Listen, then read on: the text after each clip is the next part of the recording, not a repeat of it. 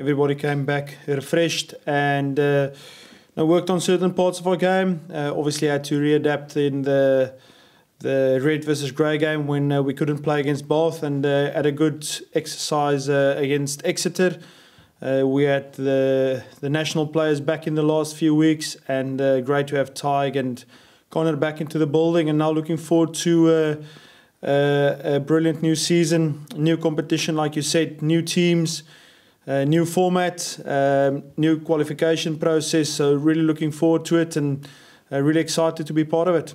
Yeah, a very proud um, uh, South African uh, franchise. Um, you know they've had a, a really good season. They uh, they alongside the Bulls played in, in the last few Currie Cup finals. Uh, both were were unfortunately away for them. Very tough to beat at home, specifically in the in the humid conditions of, of Durban, and you know they've uh, put together a, a, very good squad. Um, you know uh, an excellent head coach in, in Sean Everitt. Um, you know, they, they've got structurally a, a, very good program. If you look at the, the Sharks Youth Academy, and you know, they've got uh, uh, some proper players. So, um, really looking forward to, to meet them first up, in, in which will be a, a first game up north for, for them as well. And, uh, you know, uh, a lot of respect from my side towards them yeah, look, we can't wait to to have our, our fans back from a, a proper match in the in the red versus grey game. We we had uh, you know a, a, few thousand supporters in, and, and just the noise was incredible. And uh, you know, just when, when both teams ran onto the field to to actually experience it. Uh, the the away game at Exeter was brilliant to to have around ten thousand people in, and and I believe from uh, the whatever capacity we have on the weekend, um, you know, I believe that'll the tickets will go quickly in the next few days. And you know, from a club point of view, we, we love to play at Thomond Park, and um, you know, we, we can't wait to play in front of our supporters from a from a competitive point of view. And it'll be great for for not only uh, the opposition that we play, but also for ourselves to experience the the whole Thomond Park um, feeling, stand up and fight, and uh, like I said, really looking forward to it.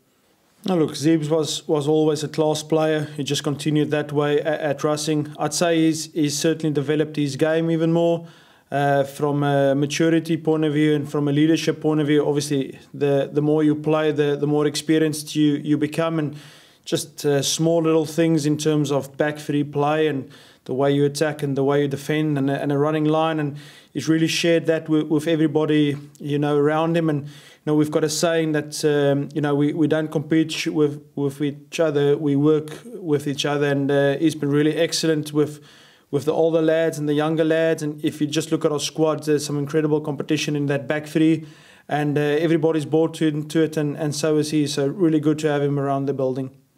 It's only about round one in the United Rugby Championship, and you know, the Champions Cup will, will follow follow on in, in December and you know, uh, what you do throughout the season, you know, needs to prepare you to to get into a knockout game, and every team starts on zero again. And uh, like I said, from a United Rugby Championship, the fact that there's four pools, and uh, you know, only the top guy goes through to the Champions Cup and to the playoffs, and then the next four teams is is whoever's the best from the next twelve. So.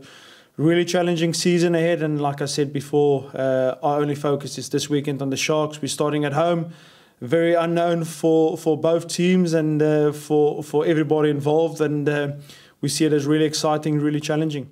Yeah, had a good preseason. It was tough. Um, you know, first two weeks, very much uh, led by the S and C department, and I think we got a lot of work done early on, and then to be able to focus on the rugby for the the, the latter end of the preseason was was um, was very beneficial for us. I think the whole group and as a whole has really hit the ground running. Um, I think you saw that from the performance, uh, result against Exeter, that the group of players that are here, they're you know a young, ambitious group, and they're certainly hard working. And I suppose we're just looking forward to kicking off the season now on Saturday. Oh, it's been a seamless transition from you know they're they're they, they might seem young, but they're they're certainly a confident group, and and their abilities is is incredible you know, from the work that they've done in the academy and the transition through. I think, you know, last year with COVID, it brought us all very close together as a group as a whole. And I think that that has just eased the transition for a lot of them. And a lot of them, you know, they might be in the academy or just moved up to the senior system, but it feels like they've been around certainly for, for the last two, three years anyway.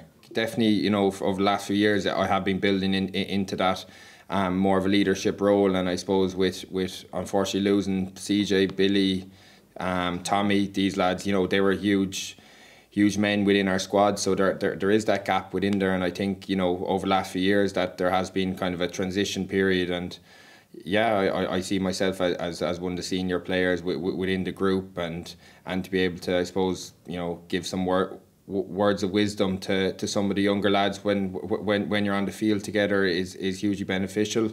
I've been there in, in that situation and, you know, an arm around the shoulder or a quiet word during a game, you know, goes a long way.